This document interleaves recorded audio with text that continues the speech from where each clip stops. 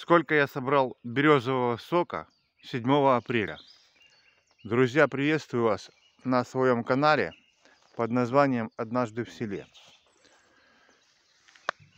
В этой баклажке находится сок, который я слил из двух баклашек 5 минут назад. Ну, не так-то много получилось. А в этой баклажке вот почему-то получилось больше. Давайте посмотрим. Да, здесь реально больше получилось.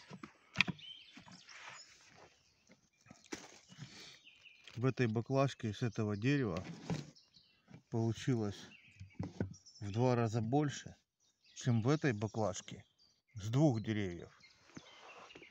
Такой интересный момент. Давайте перельем, посмотрим общее количество березового сока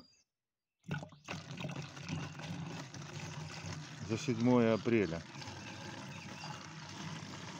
Немножко муравьи, мурашки там есть, но мы его потом цедим,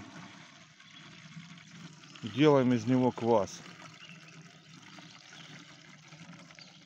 На трехлитровую банку 150 грамм сушки яблочной. И получается изумительный квас. Можно немножко сахара добавить. Итак, вот у нас получился урожай березового сока за 7 апреля. Ну, здесь, я думаю, литра 4 есть. Если видео было полезным, подписывайтесь на канал, ставьте лайки, задавайте обязательно ваши вопросы в комментарии.